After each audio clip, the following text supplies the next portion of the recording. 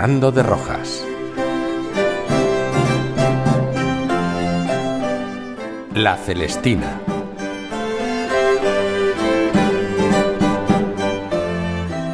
Leído e interpretado en todos sus papeles por Moisés de las Heras Fernández, blog literario Lluvia en el Mar y audios de iVox y YouTube. Segundo auto. Argumento del segundo auto. Partida Celestina de Calisto para su casa, queda Calisto hablando con Sempronio, criado suyo, al cual como quien en alguna esperanza puesta está, todo aguijar le parece tardanza. Envía de sí a Sempronio a solicitar a Celestina para el concebido negocio. Quedan entre tanto Calisto y Pármeno juntos razonando.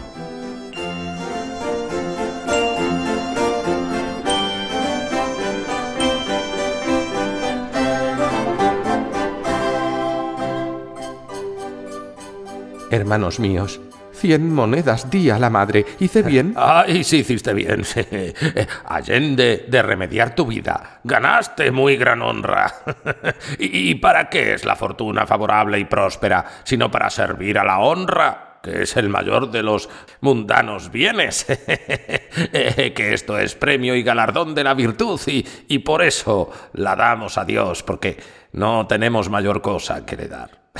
la mayor parte de la cual consiste en la liberalidad y franqueza.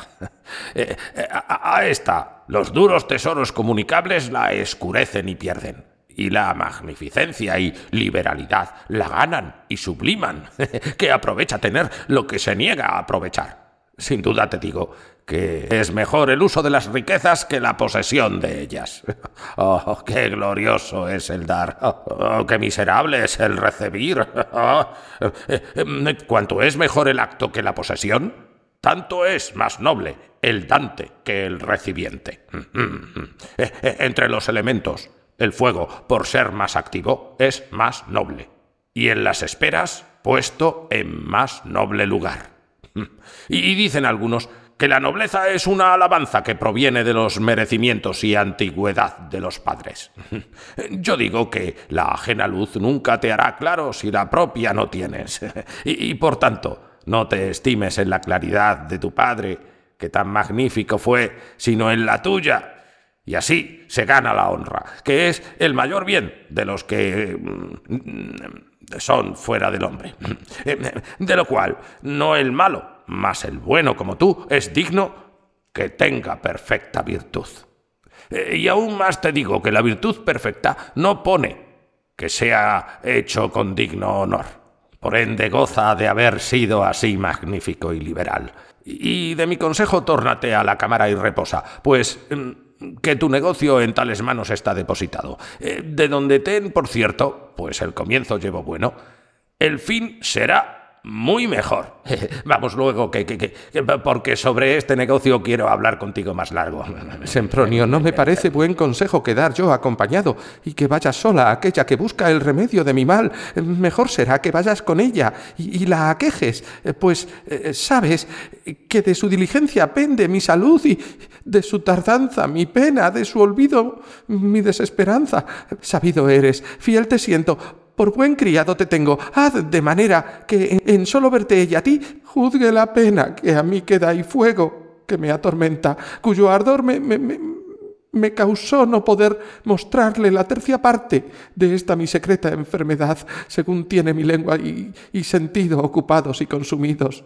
Eh, tú, tú, como hombre libre de tal pasión, hablarla has a, rienda suelta. Eh, señor, eh, querría ir por cumplir tu mandado, querría quedar por aliviar tu cuidado. tu temor me aqueja, tu, tu soledad me detiene. quiero tomar consejo por la obediencia, que es ir y dar priesa a la vieja.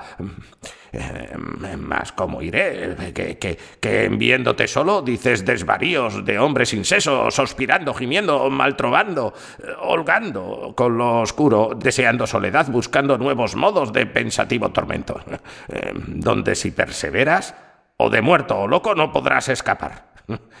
Si siempre no te acompaña quien te allegue placeres, diga donaires, tanga canciones alegres, cante romances, cuente historias, pinte motes, eh, finja cuentos, juegue a naipes, arme mates. Eh, finalmente que sepa buscar todo género de dulce pasatiempo para no dejar trasponer tu pensamiento en aquellos crueles desvíos que recibiste de aquella señora en el primer trance de tus amores. ¿Cómo simple?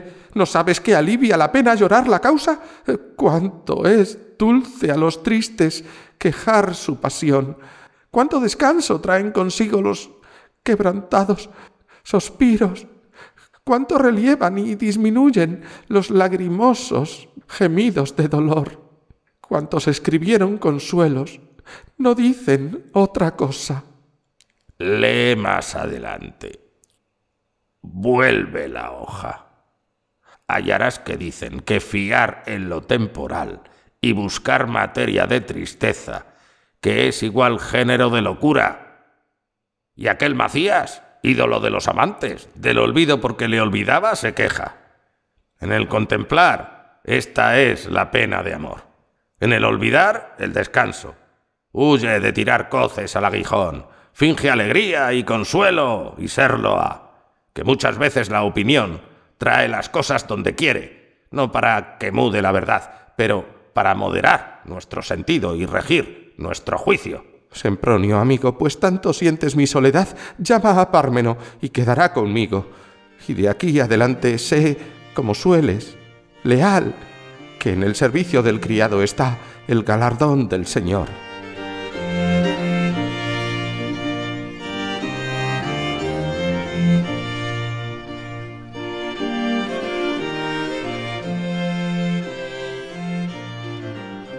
Aquí estoy, señor.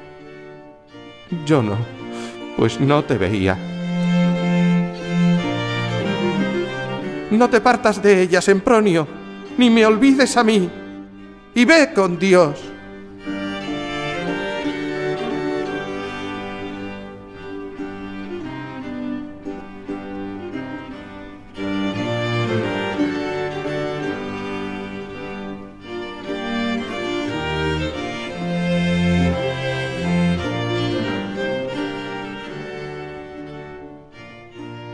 Tú, Parmeno, ¿qué te parece de lo que hoy ha pasado? Mi pena es grande, Melibea alta, Celestina sabia y buena maestra de estos negocios. No podemos errar. Tú me la has aprobado con toda tu enemistad.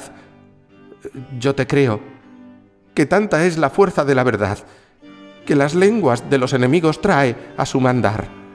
Así que pues, pues ella es tal, más quiero dar a esta cien monedas que a otra cinco. Y las lloras, duelos tenemos.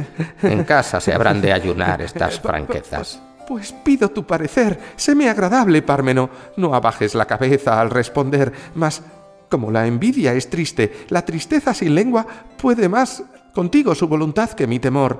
¿Qué dijiste, enojoso? Digo, señor, que irían mejor empleadas tus franquezas en presentes y servicios a Melibea, que no dar dineros a aquella que yo me conozco y lo peor es hacerte su cautivo. ¿Cómo loco su cautivo? Porque a quien dices el secreto, das tu libertad. Algo dice el necio.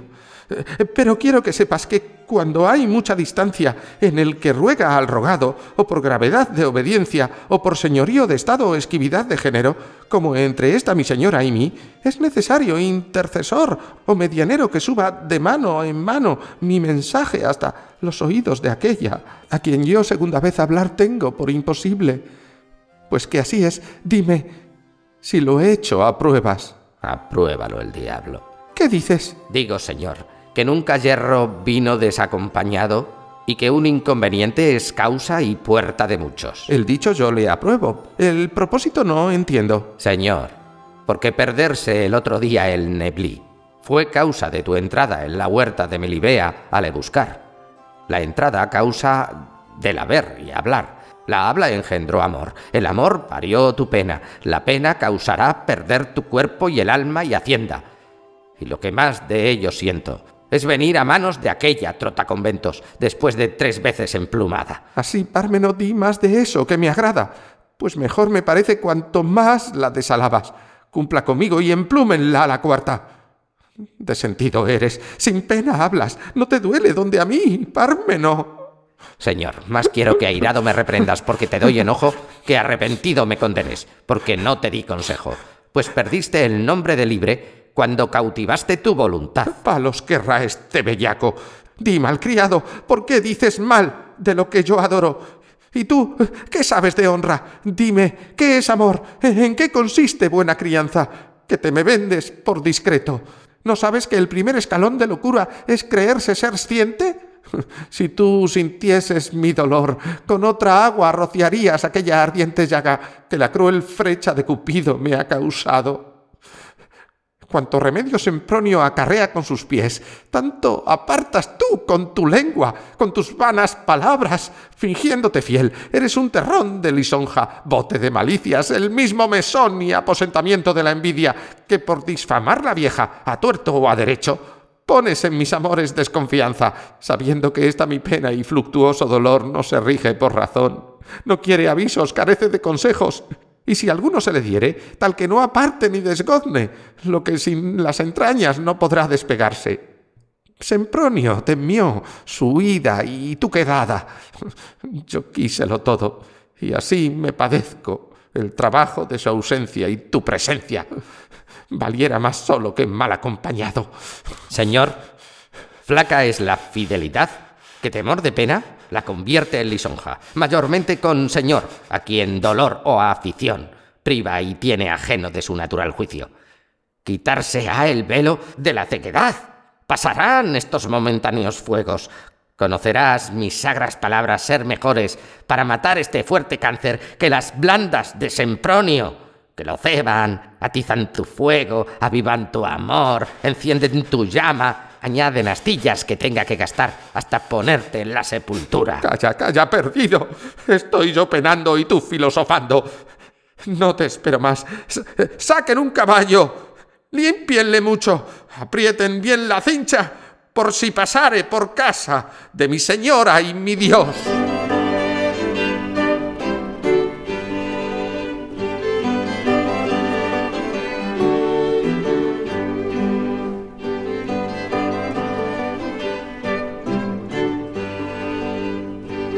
¡Mozos! ¿No hay mozos en la casa? Yo lo habré de hacer, que a peor vendremos esta vez que ser mozos de espuelas. ¡Andar! ¡Pase! Mal me quieren mis comadres. ¿Relincháis, don caballo? ¿No basta un celoso en casa? ¿O barruntas a Melibea?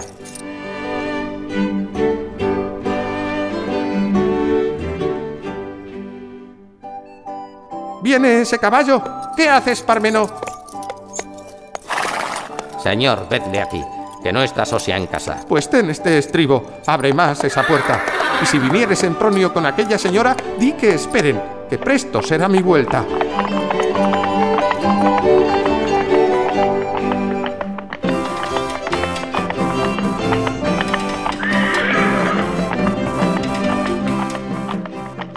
Mas nunca sea.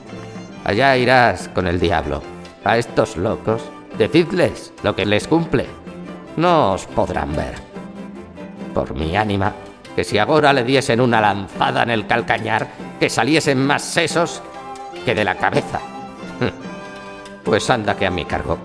¡Que Celestina y Sempronio te expulguen! Oh, desdichado de mí.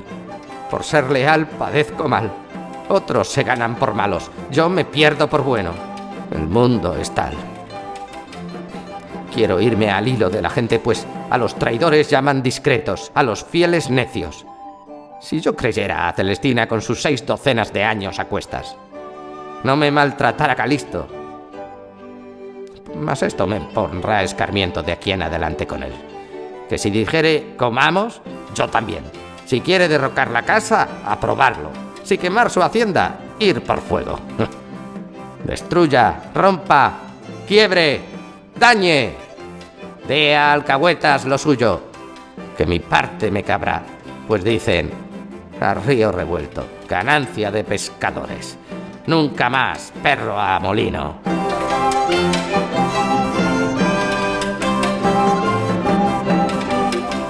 Fin del segundo auto.